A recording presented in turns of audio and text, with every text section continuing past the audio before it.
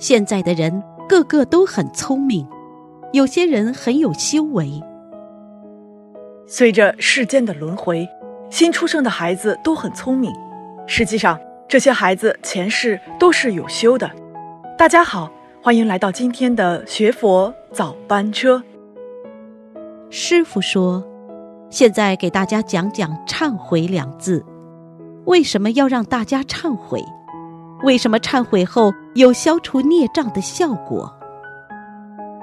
师傅还说，以前在电台里常讲，如果要想消除孽障，首先是要念经激活，让其变成灵性，然后念小房子超度。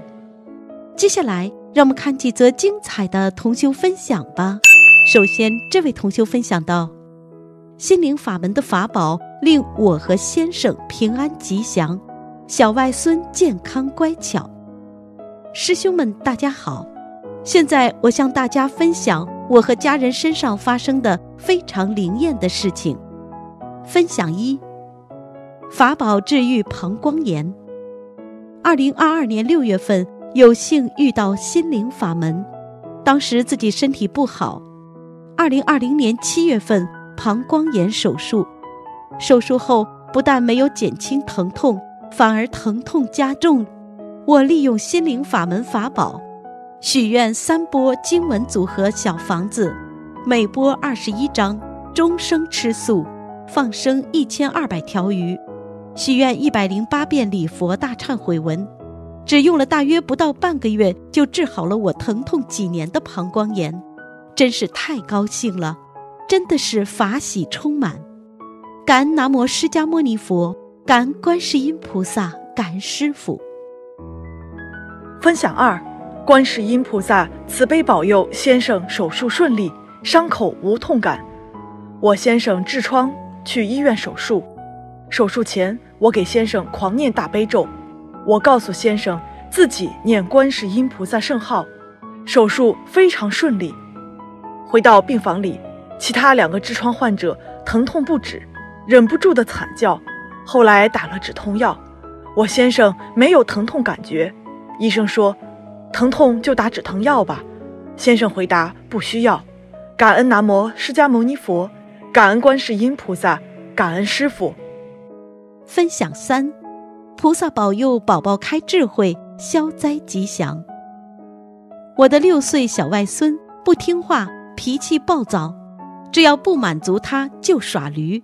满地上打滚哭，给家里大人整得焦头烂额、束手无策。这个孩子还有严重的鼻炎、皮肤病，前几天无缘无故的头晕、厌烦上学。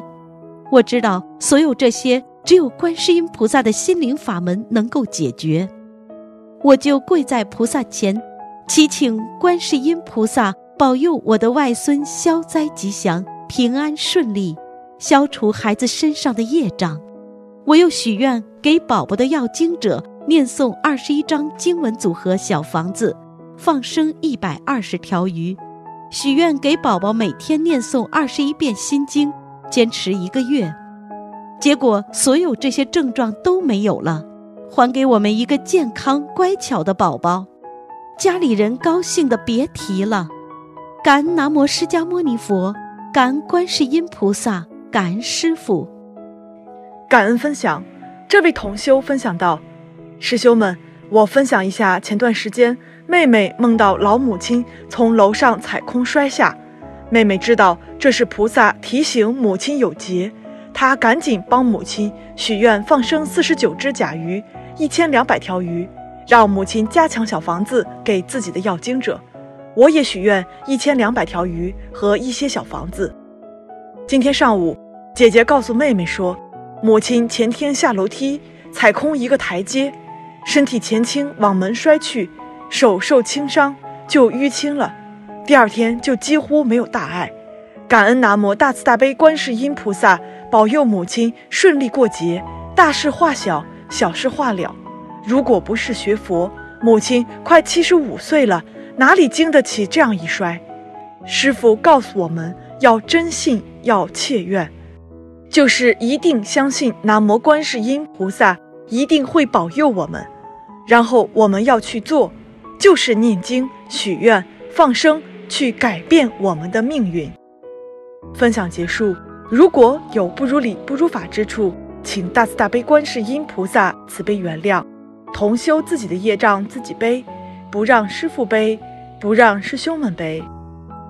接下来，让我们来听师傅的精彩开示吧。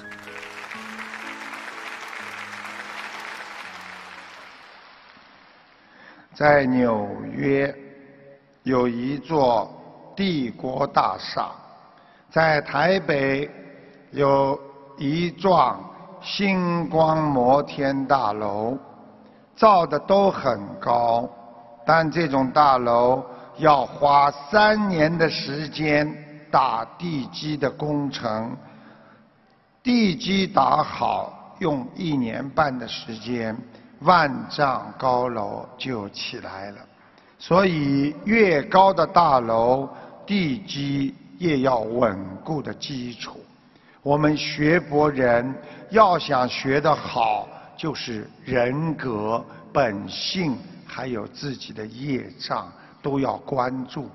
我们的地基不好，我们何来到天上见我们的观世音菩萨？所以地基稳固，我们才能修得高啊！很多人每天想成功，但是脚又不。脚踏实地的去做。著名的作家林清玄曾经说过：“我是一个农夫的孩子，家里世代种地，每年只能有一次的收成，但是我们必须天天下地去工作，每日耕耘，终年到年终才会有收成。”每当我们看到很多人在排队等电梯，就会有很多的人走楼梯上去。走楼梯虽然比较辛苦，反而比较快。有些人整天在等电梯，他们就犹如现在社会人整天的在等着机会。而有些人一直在爬楼梯，等他们到了上面，把事情办好了，下了楼梯，看见楼梯电梯的门口还有长长的队伍排在那里苦等，因为等电电梯的人太多，机会对他们而言反而相对的就少了。同样的道理。放弃人生的电梯，成功没有捷径，靠的是我们踏踏实实的学佛。学佛人没有捷径，从我做起，念经、许愿、放生，必须勤奋、吃苦、忍辱，这就是你的基础，这就是你学佛的开始。感恩菩萨，感恩师父。在今天节目的最后，让我们再一起听师傅的几句佛言佛语。